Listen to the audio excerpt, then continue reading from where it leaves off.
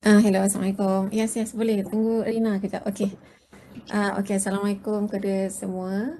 Uh, pada semua, pada penceramah kita, uh, keynote speakers. Terima, terima kasih juga. Thank you so much to all of our strategic partners. Kita ada uh, Profesor Dr. Hassan Abu Hassan. We have here Profesor Dr. Zakaria Abbas. We have Profesor Dr. Mansur Abu Talib. Uh, and then we have Datuk George juga, Datuk George from our industry partner, uh, Datuk, Datuk George. And then we have, uh, we also have Sabah Tourism Board, Madam Doreda. Ada tak dekat sini?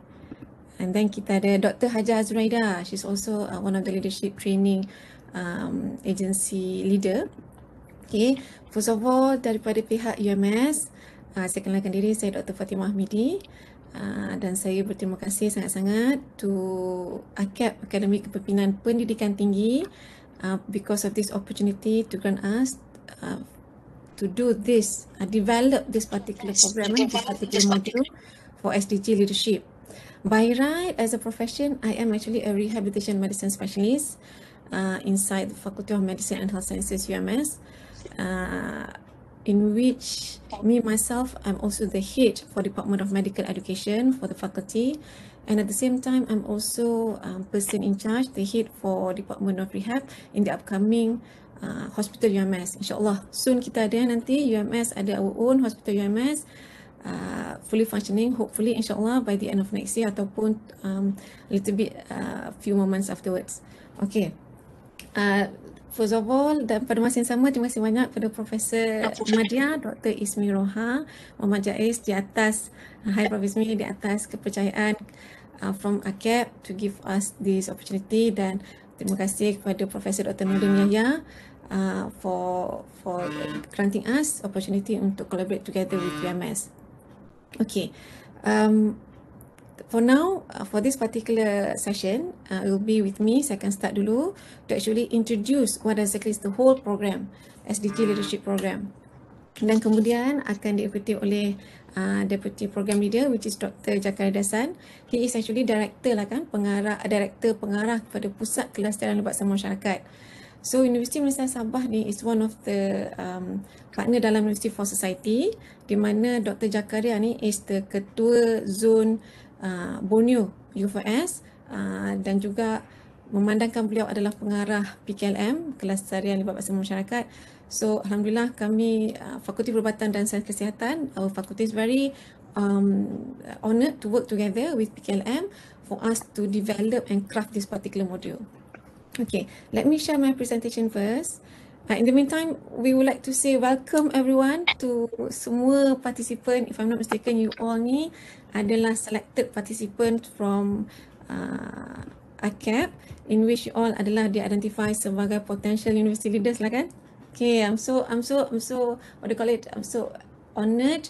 I feel so privileged to be among all of you with various background, very uh, diverse expertise, multiple uh, academicians, future leaders from different universities all over Malaysia. Okay, so we hope uh, the program yang kami buat ni, kami craft for this uh, CAP uh, together with UMS akan menjadi platform, will be platform for all of us to actually understand better when it comes to SDG and how it can be related to leadership. Okay, so for my side, I'm going to do introduction about to share model about this SDG leadership program, University for Society, and we'll explain further about content and output. Uh, and then afterwards, Dr. Jakaria will proceed with community engagement and a brief on uh, University for Society. Okay, so there's a few things that I'm going to highlight about here briefly um, in which I will go one by one. So in the gist, I would like to explain about SDG leadership and the academia in brief. Of course, the share model that we are bringing in is, is a part of a creative way for us to actually embed shared leadership inside this particular module. And then we're going to introduce a term called action-based six-step plan and then we will explain akan terangkan about the output for this particular program so program ni because we're going we are doing it as hybrid uh, face to face plus online mode so we are going to produce two main uh, output which is we have two main portfolios And I believe everyone has already received uh, the soft copy of the portfolio. So hopefully as, as the time goes through, kita go through lah, as a, feel free to go through as a reading material. And then last kali, we will proceed with ice breaking in group. Okay, so a little bit about uh, SDG, particularly when it comes to university uh, involvement. Okay, so I believe in the whole global and regional platform, we have a lot of uh, the organizations, agencies that actually support academic uh, contribution when it comes to supporting SDG, Sustainable Development Goals. So even under the SDG itself, under United Nations itself, they have the International Association of Universities, in which one of the professor of sustainability education uh, that support education for sustainable development mentioned that higher education is no longer uh, preparation for an assumed stable future, but it is actually to nurture uh, individual and collective potential to live well and skillfully in exactly already complex and volatile world towards human and planetary betterment. So this itself actually support the sustainable development goals in which we have 17. At the same time, we have few um, inside our own region. We have from USM, APUCHEN, Asia Pacific University Community Engagement Network. And then we have also from University Malaya, the Sustainable Development Solutions Network. And of course, we have here from um, W uh, World Universities Association for Community Development, one of the university in Indonesia also have this as part of the international platform to collaborate with many universities to support SDGs.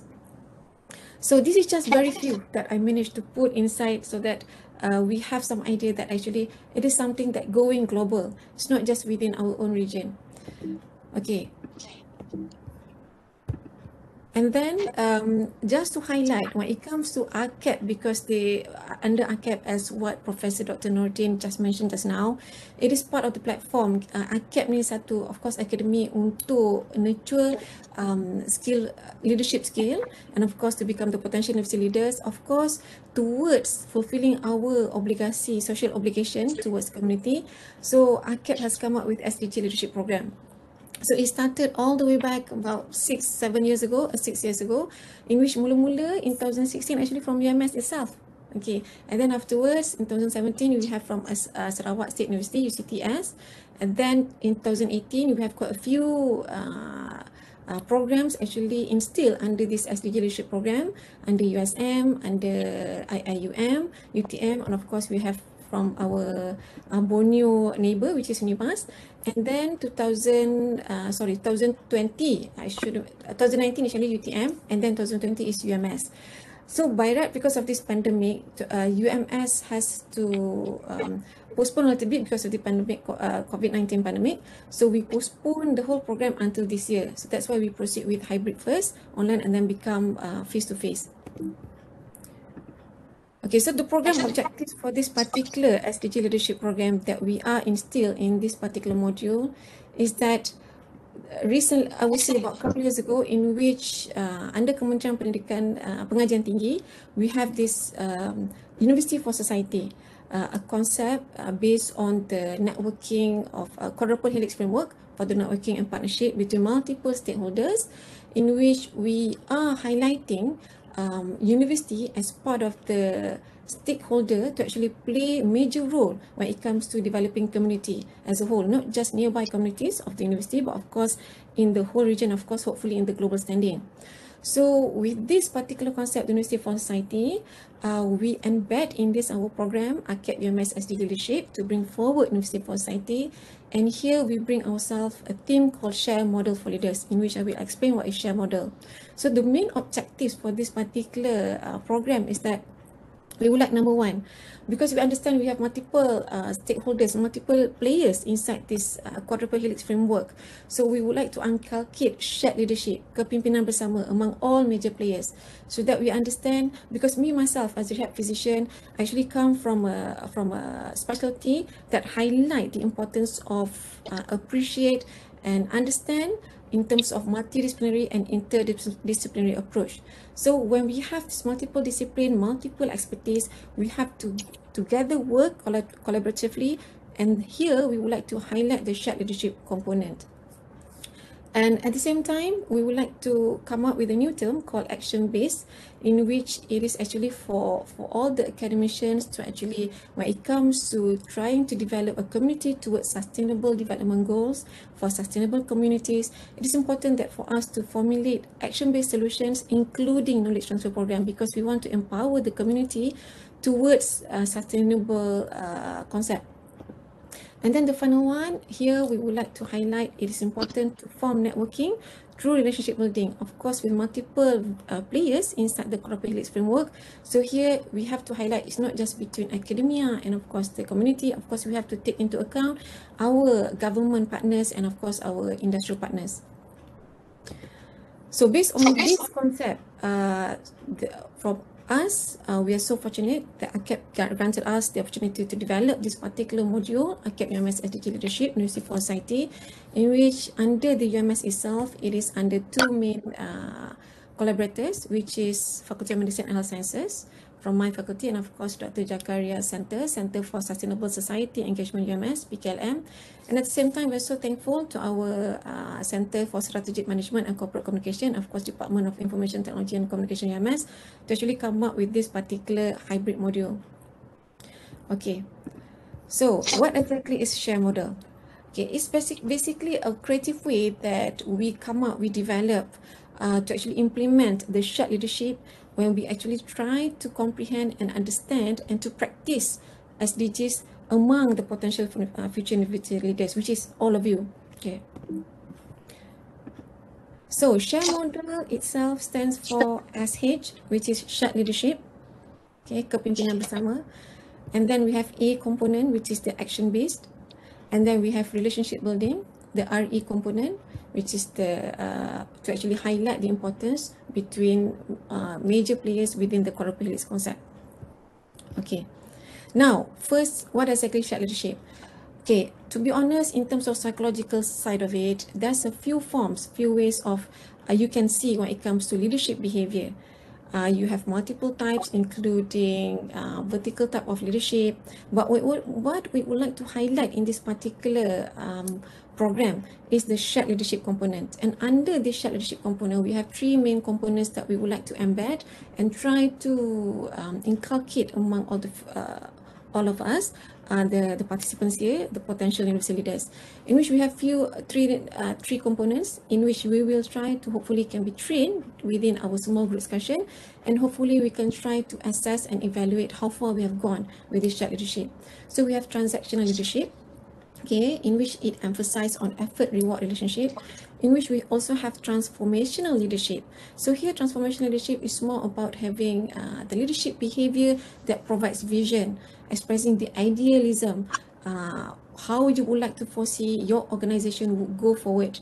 Okay, and then of course how the leader communicate with all the members in the team to produce more in towards um, inspirational communication. And of course, at the same time, we would like this transformational leadership to produce um, high performance expectations so that the subordinates, of course, the members, the key members would follow the vision and mission of the leaders. At the same time, we would like to see uh, empowering leadership inside the shared leadership in which to actually develop um, team members to actually have the ability to develop their own leadership skill. So they can take turns to actually lead the program, lead the uh, the tasks, the projection given projections given to the team.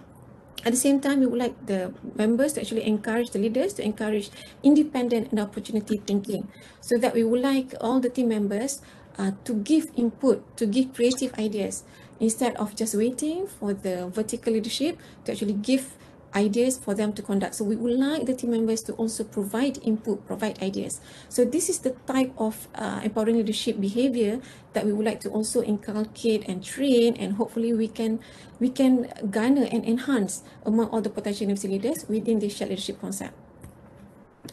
Now, how are we going to do this within our program? So we have three areas. So number one, we have the knowledge sharing session in which I believe everyone, uh, based on our program book, uh, we have five SDG leadership sharing session.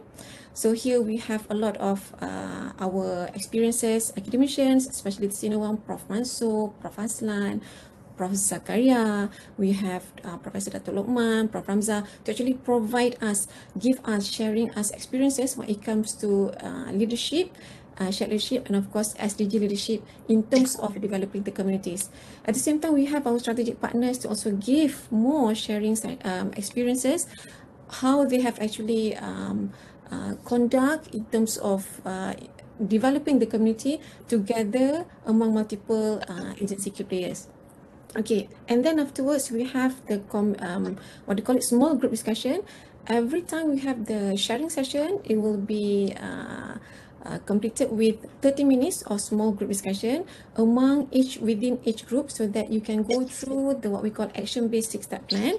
So here we would like to see all the participants to actually actively take turns to lead this um, the, the the session so that we can see the the leadership skill that actually we would like to uh, embed among all of you.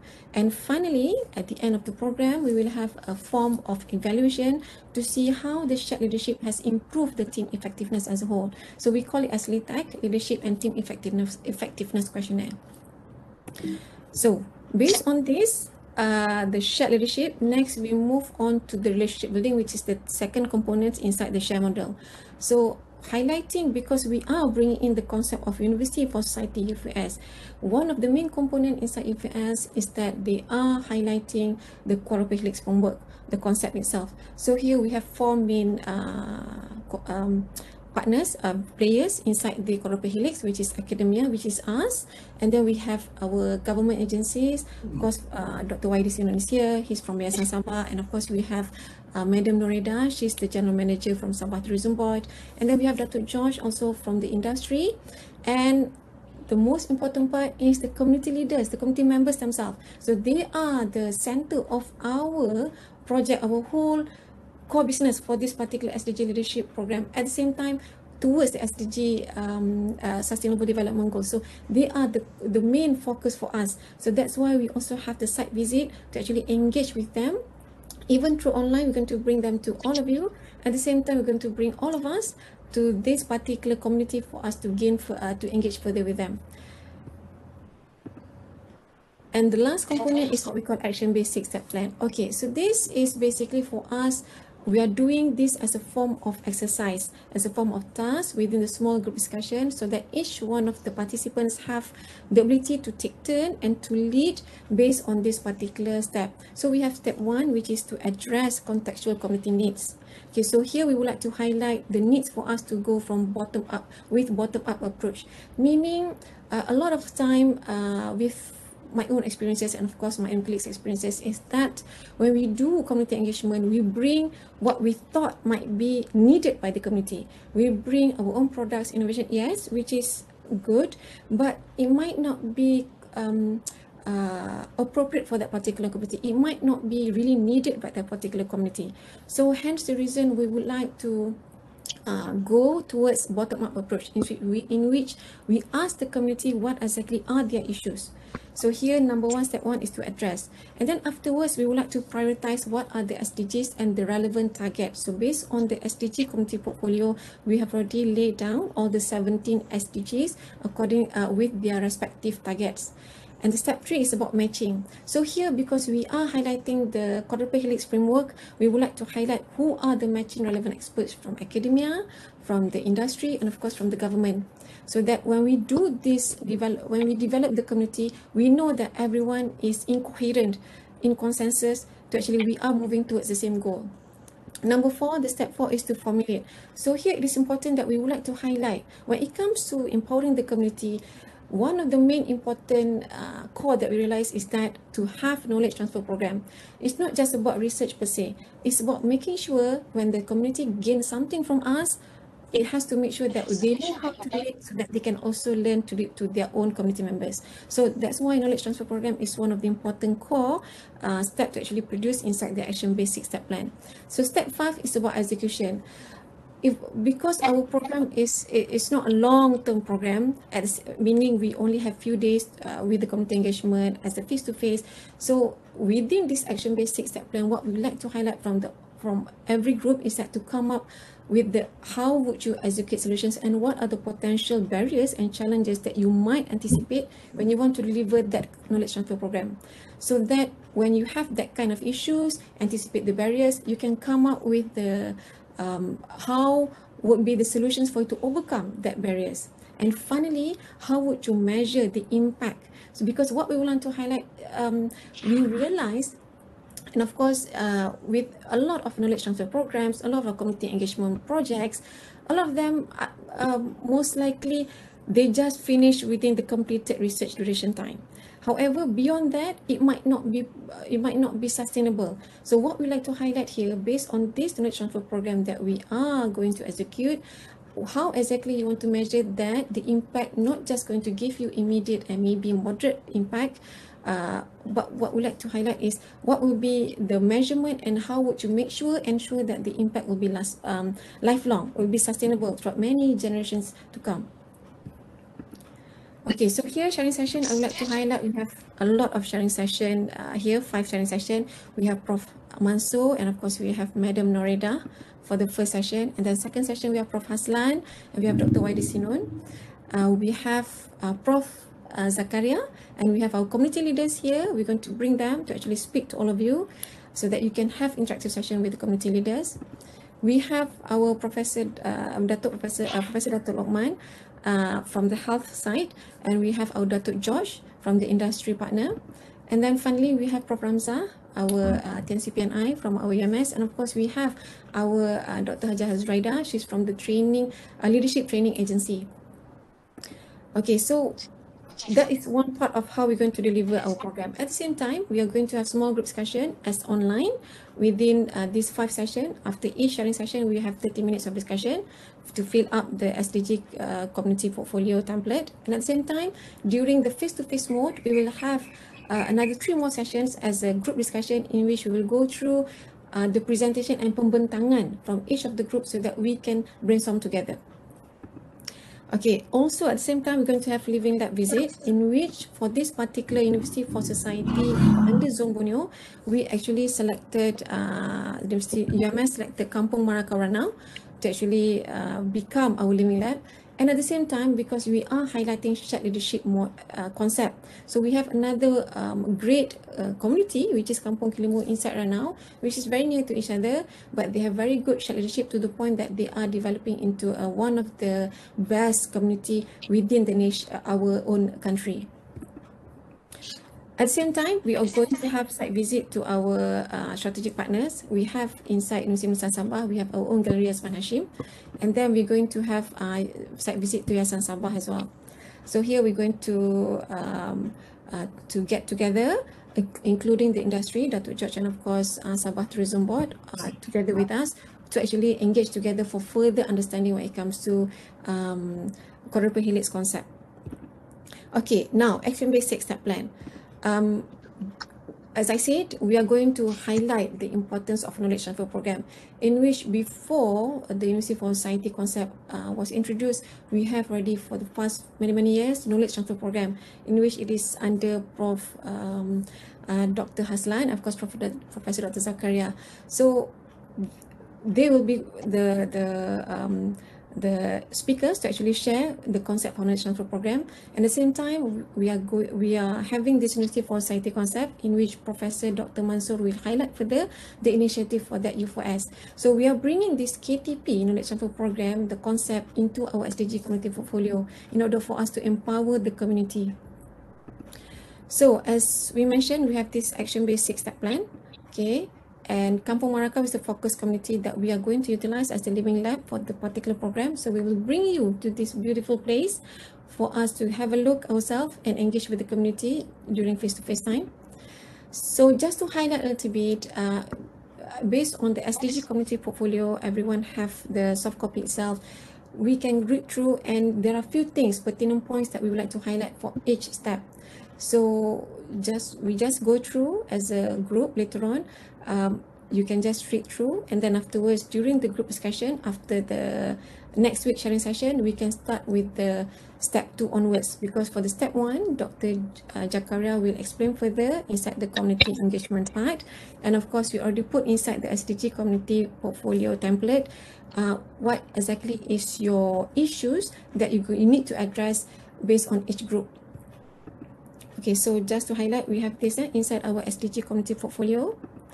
Okay, so the program portfolio itself. So here I would like to introduce two output for our particular program. We have SDG community portfolio and SDG leadership portfolio. Just to highlight, we have six groups altogether in which we have all our um, keynote speakers and of course uh, we have also here Prof. Uh, Dr. Ho Chong Moon and of course Professor Dr. Vincent Pang in which including our four keynote speakers which is Professor Dr. Haslan, Professor Dr. Mansur, Professor Dr. Zakaria and Professor Datuk Dr. Lokman Hakim. So these six um, uh, professors will be the advisor for each respective group. group. So um, we would like everyone, the team members to be very participative, very active and of course feel free to actually uh, get more input and advice from our advisors. Okay, so at the same time, we would like to highlight one, each group will have to produce one community portfolio. However, we have 42 participants if I'm not mistaken. So each one of you will produce one leadership portfolio. So let me just go through what exactly SDG leadership portfolio. So we have few sections. First is just our own uh, biodata of participant. Second section is about 360 leadership feedback. Okay, the third section is about qualitative interview and the section four is about reflective learning. So inside this portfolio for number one, um, when we assess um, uh, 360 leadership feedback, here we don't want everyone to feel worried or concerned uh, of course, we understand the duration is very uh, short. It's not enough to actually assess each one's leadership. For example, I'm not at liberty to assess Dr. Jakaria's leadership if it's just going to be five minutes, uh, five days of program as face-to-face.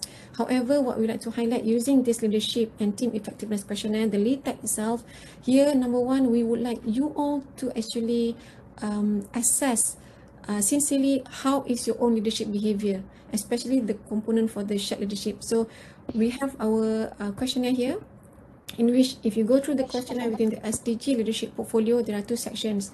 First is the leadership behavior. So after you finish the whole uh, program including the face-to-face each participant should rate how they feel when it comes to their own leadership behavior. But number two we also would like you to rate how effective has your own team performed conducted themselves. So that's why when we ask for the 360 feedback, it's more towards self-assessment plus peer assessment when it comes to the effectiveness of your own teamwork. So don't worry, do not feel concerned. No one will assess uh, other people's leadership, but it's more towards teamwork. Okay, now we have collective interview. When we say interview, you would ask, how can you get interview if it's just uh, online or if you have the portfolio. So first go through the interview question. We just want to ask two simple things from all participants because we would like to know after you've gone through the whole program, what exactly do you understand when it comes to leadership and how it is related to SDG. And we would like you to list and justify what are the three most important virtues um, that a leader must possess, especially when you want to promote shared leadership towards developing community in line with SDGs. So what we would like is that we would like everyone, the participant, to actually do a video recording of yourself answering these two questions. At most, maximum is five minutes duration. Okay, and then send it to the secretariat. And lastly, it's about reflective learning. We have these three questions in which we would like you to just briefly type inside the SDG leadership portfolio in which I have shared with all of you uh, also the Google link for the shared leadership portfolio in which we would like you to just um, write briefly based on these three questions so that we can get some feedback what exactly you have learned so far from this particular program program. Because we are thinking this program should go beyond not just um, this particular uh, cycle. We would like it to go further and then we would like to improve further based on your suggestions and feedback Okay, um, now submission of strategy leadership portfolio, we would like to highlight uh, the program shall finish face-to-face on the 4th of June. So we would like to everyone to complete the template and give it back to us uh, to, through this email by 30th of June and of course the video recording as well. Okay, now the this will be almost the final one, the SDG community portfolio. We have three things here. It's about the community, the background of the group, and of course, action basic start plan. So here, what we like to highlight for all of the team members, uh, based on the small group series of small group discussion that you're going to have uh, for the next couple of uh, weeks, uh, you need to fill in the SDG community portfolio template. And of course, we would like not the same person to lead. We would like different different person to lead every single session. At the same time, we're going to uh, request one of the participants inside each group to take turn to become the rapporteur so that you can fill in the SDG community portfolio template. And we already put inside the Google Drive, so everything can be done as real time that and then updated as the time goes by. So here at the same time, we would like you to complete the whole uh, portfolio by 30th of June. Okay, so now is group ice breaking session. So here we would like after Dr. Chakaria has finished his presentation, we will do a breakup session. So each one of you will go into respective group, including our advisors will be joining with all of uh, team members. So here we would like to actually, for all team members to introduce themselves. Uh, we have in each of the um, uh, group session, we have our own host. So she will help, she will, uh, he or she will introduce um, himself or herself as the host. And of course we um, our advisor and afterwards um, followed by all the group members to introduce and hopefully we can get more networking beyond this particular program. Okay just to highlight the group members here we have our advisor and facilitator. So we have prof. Mansour he is in group 1 we have prof. Haslan in group 2 we have prof uh, zakaria in group 3 we have uh, Professor Dato Lokman uh, for, for group 4 and then we have Prof Ho Chung Moon in group 5 and we have Prof Vincent Pang in group 6 so they are the advisors for each respective group we also have our, from our UMS side, we have Dr. Ilya Gudong. She will be the uh, assistant facilitator for group 1 to group 3. And then we have uh, Associate Professor Dr. Syed Sharizman, in which he will be assistant facilitator for group 5 to group 6. Okay, at the same time, within the same group, each group you have one host. So here we have our own host from UMS. So we have our uh, pegawai actually is a uh, from the pendaftar side and also pegawai science to actually help to become the host for each group. So in each group, you either have six or seven participants. So within the ice breaking session, uh, we would like every group members to brainstorm and uh, elect, elect themselves who should be the session leader and rapporteur for each sharing session. At the same time, we would like to invite three from each group to become subject authors because actually at the moment we are producing the manual for this SDG leadership uh, program. Uh, so there are few topics that we would like to actually invite uh, authors from deaf uh, academicians from different different group to become subchapter authors. So here what we like to highlight is that uh, we already put aside uh, for each group you have your specific session for you to become the subchapter authors. So based based on this subchapter authors, it is actually a freestyle. You can write up according to the appointed topic in the sharing session. It's freestyle between 800 to 1200 uh, words. So hopefully uh, we are almost completely done, um, completely done with that particular manual book. Almost, I would say, almost 85% complete. We just need a few more um, subjects based on this sharing session. So afterwards, we can go forward for fine tuning and hopefully can be published by the end of the year. Okay, so for the role of the members, we would like to highlight here is that number one, we have our facilitator and advisor in which acts as advisor in the discussion session. So of course, our uh, senior senior academicians here. And then we have our session leader uh, appointed to lead discussion. So as we go along, uh, week by week by week with this sharing session, so there will be some of us who will go in and out into each of the rooms so that we can also observe how the members, how the participants have actually uh, lead the whole session. Uh, at the same time, we have our session repertoire that we need your assistant to actually fill in the SDG template. Uh, and then, of course, our host will assist in terms of hosting it online and to compile the documents. Okay, so far, basically, that's the whole introduction to the whole program and the content and the output that we expected from all participants. What we would like to highlight here is that is is is a sharing session, is is a place, a platform for everyone to learn, especially when it comes to leadership, because all of you will become the potential future university leaders. And at the same time, we would like everyone to have to feel fun joining us here. It's not something that should stress you out. It should be something that you would like to take part actively, voluntarily, so that you would learn. Because based on this, as academician, you sh- after this program finish, we would um, expect that all of you are well trained, not just in leadership, but also when it comes to how should we um, go forward when it comes to embedding knowledge transfer program to community so that it will be more sustainable in the years to come. Okay, any questions from any from the floor? So far, are we clear in terms of the output? What exactly the program is all about? Assalamualaikum. Waalaikumsalam. Uh, my name is Dr. Akima. I'm from Unimap. So I have, yeah, yeah. Assalamualaikum. Dr. Hakimah, semua. Assalamualaikum Prof. Uh, yeah, Salam. So I just uh, um, to uh, to confirm whether we are actually referring to quadruple helix or quintuple helix. Because Okay. now, yeah. Uh, understand, uh, understand Prof. Hakimah. Okay, so for actually within the for Society concept, if I'm not mistaken, they they actually emphasizing both, in which it will be further highlighted by uh, Prof. Mansur in his subsequent sharing session. But in this particular quadruple helix framework is basically a concept of networking partnership. Uh, quintuple, hel- con, con, quintuple helix framework is more towards innovative approach. Of course, in terms of with all the stakeholders, but also adding, um, adding in the quintuple helix framework. So what we would like to highlight is that based on this, we have the main four key players. The innovation part comes along with the whole four stakeholders. But we would like to highlight in this program is that these four key players, the entities, are the major key players as the stakeholders within this um, uh, community development. So of course, innovation come on board that become the quintuple helix framework. So here we because we are you we would like to highlight the relationship building, hence the reason we put that quadruple helix framework. Hence the reason we invite all the stakeholders. You can see there are four of us within this particular sharing session. I hope that explains uh, your your question, uh, Prof. Nikma, Hikmah. Uh, yeah, uh, so far okay. Uh, Thank you, maybe- Doctor. Mungkin saya boleh tambah sedikit lah.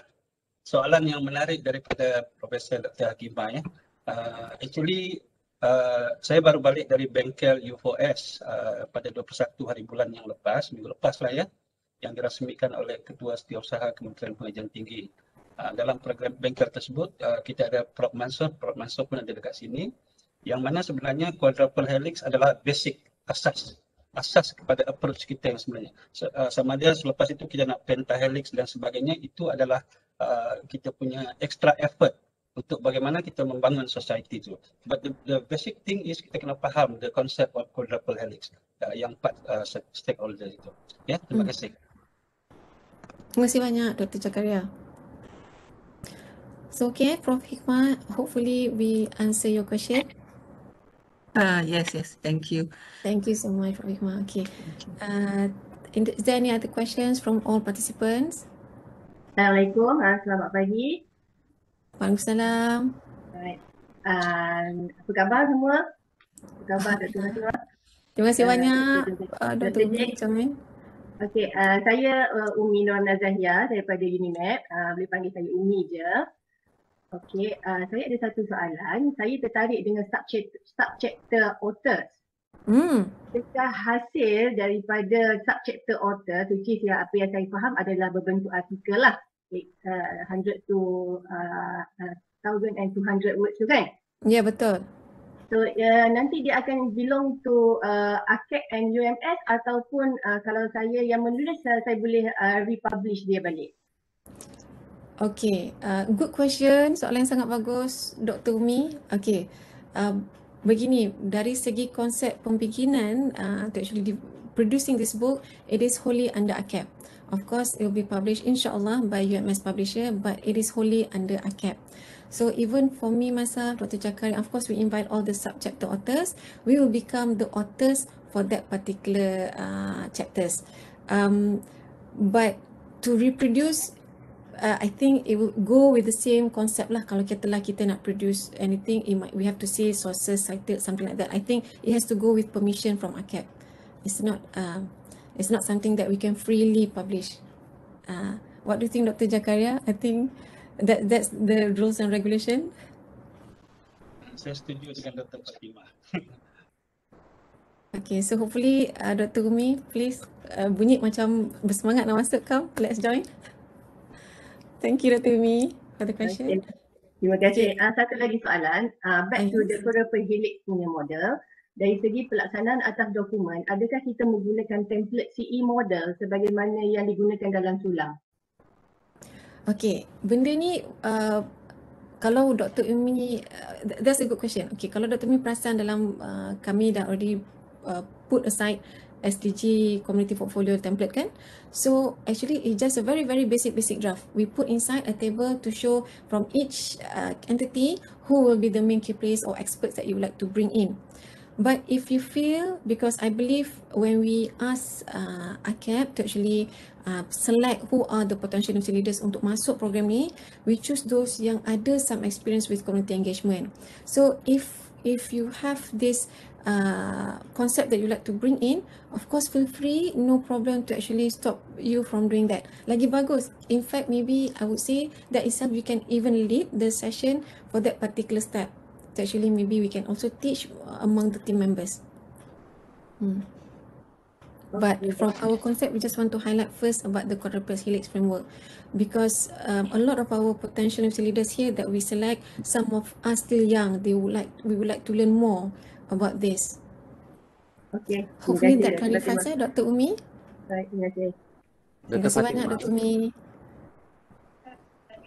Dr. Okay, Fatimah. so, saya. Eh, Uh, actually, actually dia tanya yang yang dia mention ini adalah sulam. Sulam uh, actually uh, saya tambah sedikit lah. Sorry ya, to interrupt. Terima kasih banyak. Pasal sulam. biasa. Sila sila. Sulam, sulam actually uh, program dengan komuniti bersama pelajar yang diberi unit dalam markah uh, akhir kursus-kursus uh, dalam program tersebut. Uh, jadi sebenarnya Prof Mansur pun kita selalu bincang dengan Prof Mansur berkenaan ini. UFOS adalah sebenarnya payung uh, yang mengambil kira di bawah dia adalah sulam dan Hmm. juga uh, universitiku. Ha, itu. So bermakna UFOS ni dia punya payung lah. Ha, itu terima kasih. Hmm. Betul Prof. Terima kasih banyak Prof. Oswald dengan input tersebut. Uh, Dr. Fatimah, Ya, saya. Assalamualaikum Ah, Prof. Mansur. Waalaikumsalam. Mansur sini. Ya, Assalamualaikum Prof. Mungkin saya add on soalan tadi tentang quadruple helix tu. So, uh, quadruple helix tu bukan saja berlaku dalam empat, uh, yang quadruple tu empat lah kan. Tapi Mm-mm. juga berlaku dalam dalam universiti tu, dalam IPT. Dalam universiti pun berlaku quadruple helix juga. Seperti Hmm. mana yang uh, Prof. Oswald mentioned. So yang empat itu apa, apa yang empat dalam universiti itu adalah empat portfolio utama universiti yang biasa kita dengar lah. Uh, pertamanya pengajaran dan pembelajaran tu yang ada sulam tadi tu. Mhm. Uh, yang portfolio tentang entiti pengajaran sebab tu mana-mana U4S punya program mesti melibatkan pelajar. Yang Hmm. sulam, pelajar yang akademik. Nanti saya bincangkan nanti dalam saya punya next week. Uh, satu lagi adalah HEPA, Hal Ehwal Pelajar dan Alumni. Itu di bawah payung sekolahku, universitiku. Hmm. Kemudian jaringan industri dan masyarakat yang most of us are now involving. And the other the other the other helix is uh, penyelidikan dan inovasi. So within that uh, kita punya quadruple helix tu ada quadruple lagi dalam dalam universiti sendiri. That to be recognized as University for Society punya activity lah. Okay. Thank you so much Prof. Mansur. So untuk makluman semua, Prof. Mansur is one of our keynote speaker. He will start first next week insyaAllah 4th of May. So Prof. Mansur akan explain further lah about University for Society concept. Thank you so much Prof. Mansur. Uh, any other question from the members, from participants, kawan-kawan semua? Assalamualaikum. Kalau tak ada lagi soalan, eh kalau tak ada orang nak tanya, I have one more question. Boleh, Uh, boleh Prof. on video lah nanti kan kata. Uh, okay. So, uh, kalau kata kita nak bring in our, uh, what, uh, from industry or anyone yang nak sponsor later, right? Uh, are they entitled for single double tax, uh, apa, pengecualian ataupun uh, double tax? Because uh, Wow. Uh, because in our uni- because in our university in UNIMED we have uh, we are practicing the uh, double tax exemption. Uh, so I think it will be more you know attractive to the who those who nak buat sponsorship lah. Okay. Okay. Okay, thank you you. so much Prof Hakimah. That that's a very good question. Okay, dari segi Dr. Cakaria. Ha. Uh, mu- mungkin uh, untuk sesi yang ini kita lebih fokus kepada uh, perjalanan aktiviti eh, program. Jadi soalan-soalan tadi itu soalan-soalan yang sangat menarik. Kita mempunyai apa ni uh, sesi-sesi yang berkenaan. Jadi soalan-soalan yang begitu tu mungkin kita akan uh, tangguhkan uh, dalam uh, sesi yang berkenaan lah. Sebagai contoh mungkin soalan Dr. Hakimah tu dalam sesi Prof Mansur nanti. Jadi kita akan Mhm. bincang lebih lanjut di situ sebab kita nak pastikan program kita berjalan lancar hari ini iaitu penerangan tentang model ya. Saya minta maaf Dr. Hakimah dan yang lain-lain supaya kita ikut masa yang diperuntukkan. Saya dah tak sabar nak membetang ni. Ha, terima kasih. Okay, terima kasih banyak Prof Hakimah. Yes, that's a very good question. Nanti kami akan uh, moderatekan masa session dengan keynote uh, speaker nanti eh. Uh, Sure. sebab takut salah info juga sebab kami kena bagi info yang betul nanti ni. Okay, so saya rasa for now uh, untuk makluman saya akan share nanti slide presentation dengan semua dalam main group. Uh, for now saya jemput Dr. Jakaria Dasan untuk for his next session about community engagement and then afterwards insyaAllah kita akan buat breakout session for ice breaking within group. Terima kasih banyak.